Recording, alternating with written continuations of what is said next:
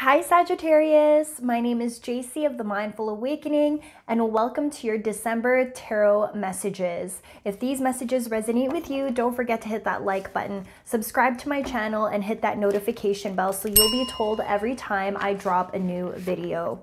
This December is filled with amazing surprises. If you guys are not already following me on Instagram, definitely click the description box below and click on my Instagram link. I am doing a giveaway a week for the next three weeks on my favorite tarot card decks and healing transformational oracle decks, as well as a crystal bundle package. The giveaway is open worldwide. Again, it's going to be one every week. The first one is already up and it's live on my IG. So definitely follow me on Instagram if you want to enter that giveaway.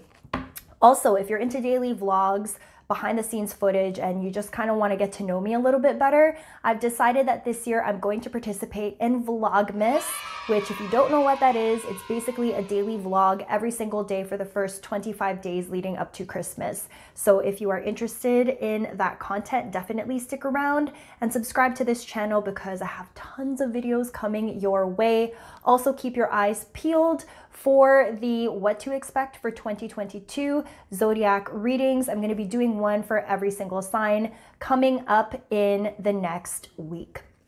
All right, Sagittarians, let's see what is in store for you for the month of December. How are we ending off this year? Now, for my Sagittarians who celebrate birthdays in the beginning of December, happy birthday. I hope you guys have an amazing celebration. Okay, Sagittarius signs. What do we need to know? Sagittarius signs, what do we need to know? What do we need to know? All right, Saggies, I'm not gonna lie, it's looking a little bit bleak for now we still need to put, pull clarification cards and an extra card did fall out so i'm going to go ahead and honor that for your reading. We are starting off december with justice in reverse. Have you been done wrong? Or have you been participating in a relationship where it feels like you're doing so much more of the work and your partner just isn't meeting you halfway? Have you been taken advantage of in the workplace? Um, is your family not seeing eye to eye with you? Are you always the one trying to make plans with your friends wherever it is in your personal life where this is affecting you, where you are the one who's giving it too much to something, um, I really feel like you're catching your own feelings here. Um, and if it's you who has been taking from other people who have been giving too much from you, this is your personal reminder to check yourself before you wreck yourself. Um, this is definitely coming to the forefront in the month of December uh, equality in relationships and partnerships. Now, we have here the Six of Swords upright as well. So, whatever wasn't serving you because of an unequal give and take, because of an injustice that was done to you, uh, Libra energy strong here as well. Uh, you're being pulled away from this dynamic and moving into something that hopefully brings more stability and happiness into your life because this dynamic just was not working for you. Uh, and take it however that resonates with you. We have following the six of swords the ace of pentacles in reverse. So as you're leaving the thing that no longer serves you the thing that was draining your energy where you where you were giving too much of yourself to this situation with the ace of pentacles in reverse i think you are confused about where to go from here. Uh, you just like need a second to recalibrate and evaluate what's gone on, how you got here, and what you can do in order to promote more balance into your life. This could also be a work life balance. What are your self care routines? Are you a workaholic? Why is that so? These are questions that will resonate with some, and definitely consider this as you move into the following year.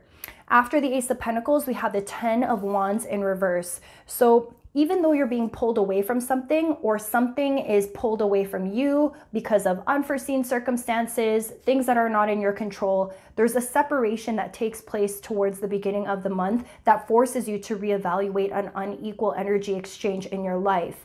At the same time, even though an unforeseen situation is happening to create that separation, I don't think you're ready to leave the situation behind yet you have the Ten of Wands in reverse here. So this is more about reevaluation and less about making big decisions. Now, we also have here the High Priestess in reverse. So your intuition is clouded, your third eye is blocked at the moment. Uh, maybe do some meditations to help unblock that energy. Um, you're not seeing something for what it really is. There's a bigger learning lesson here for you. And I think it's being it's just it's confusing because there's so many feelings involved in this. And i think it's gone on for so long that now you can't even tell the difference between what actually bothers you versus things that you have reconciled and have totally let go. Um, and so i think the end of the month is going to be about getting clear on what those things are. What are your deal breakers in workplace and in personal relationships? And if those deal breakers have already happened why are you still in the situation then why are you still there? Um, and and it's fine. I'm not telling you to leave. I, it's free will. You can choose whatever you want to, but you definitely feel like it's not equal. So what are you going to do to promote equality? Now, the Justice card upright is clarified by the two pentacles in reverse, the Knight of Wands in reverse, and the Death card upright. So definitely an end of an old cycle, beginning of something new, big transformational energy here. However, a choice still has not been made. You're still juggling two things, but I think the thing, the unforeseen thing is forcing you to focus on one thing. I think you did not choose something, and so the universe made it so that you're going to be left alone to figure it out now. So, because you didn't want to choose, it's giving you time and space to figure it out, even though you're not actively choosing, which is fine. Because at the end of the day, with, with the Knight of Wands upright, you're going to be getting back to yourself. This time and space is going to help you to rediscover who you truly are, what lights you up, and why. And it's going to help to cause some sort of transformation. Um, I can't remember if death was upright or in reverse. Regardless, it doesn't matter. The fact is, transformational energy is here. Whether you tap into this transformational energy right here, right now, which would mean the death card upright, or later on in the month, which would make the card in reverse, at the end of the day, you're being confronted with areas that can uh, grow and expand and transform into something even better for you. Let's take a look at the Six of Swords upright. What is the thing you're being pulled away from? What is the unforeseen circumstance? Six of Swords is clarified by Three of Pentacles in reverse, Five of Wands in reverse, and Queen of Pentacles in reverse. You could be dealing with an Earth sign, Capricorn, Taurus, Virgo. Um, for some of you, this is competition, arguing, fighting, bickering, um, annoying conversations, not seeing eye to eye with certain people that you hoped to be in partnership with, with the Three of Pentacles in reverse, could be workplace, could be personal relationship. It's causing some instability in your life, this bickering and this arguing. Uh, could also be dealing with an earth sign, like I had mentioned. Um, but again, this is almost a blessing in disguise. I feel like the unforeseen thing that's causing a separation or a break is actually working in your favor because the bickering and the arguing it's too much and you just don't want to deal with that anymore. So I don't think you had the strength to leave the situation, but something has definitely happened to create space for you to breathe. Sorry about that. I think the video cut. Um, I was just saying you're definitely being pulled away from something. You no longer want to be fighting. So this is kind of like a blessing in disguise that some space was created between you and this person or this situation. Uh, let's go ahead and clarify this Ace of Pentacles now. What do we need to know about this Ace of Pentacles?